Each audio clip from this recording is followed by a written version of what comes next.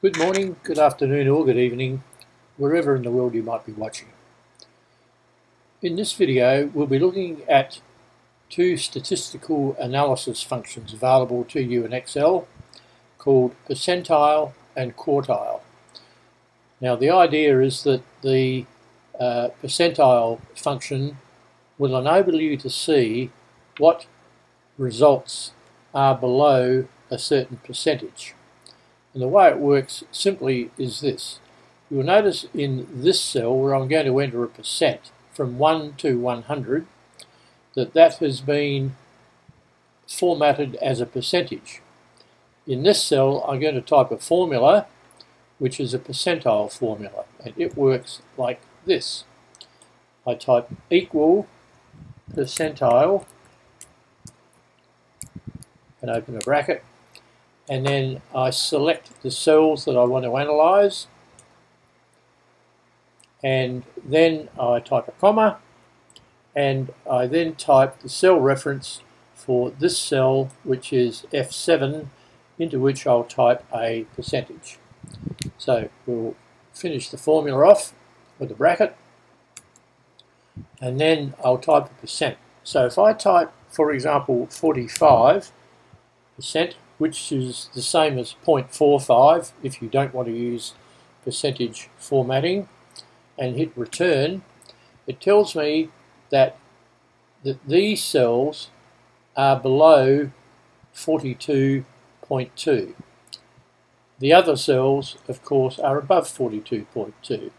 So the result indicates that this percentage of the scores fell or were below or equal to uh, the uh, to the result in H7. Let's type another percentage. Let's type 67% or 0.67. And this tells me that there are these cells highlighted with conditional formatting for illustrative purposes that fall below 49.36.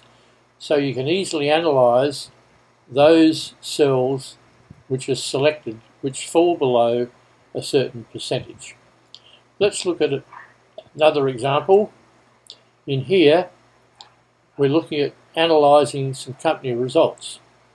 These are the profits in millions of dollars, and the result indicates that this percentage of the quarterly profit results fell or equal to 3.19 million.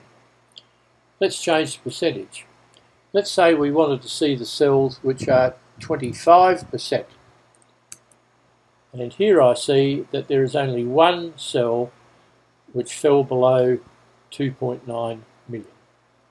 So I can analyse the, as it were, the ranking of the, of the cells uh, subject to the percentage that I show here. Next we'll look at quartiles. Now quartile requires a number here between 1 and 4. So with the number 1, and incidentally if I look up here I'll see that the formula is virtually the same as the percentile.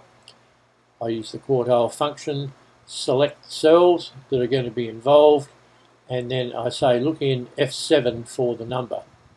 Remember that with a quartile quarter there are four quarters so I now type a 2 which will show me those cells which fall below 45 percent or uh, sorry which fall below 45 and there I see that there are four of them so again, I've been able to analyse the statistically analysis method to look at cells which fall within a certain range above or below the number that I type here.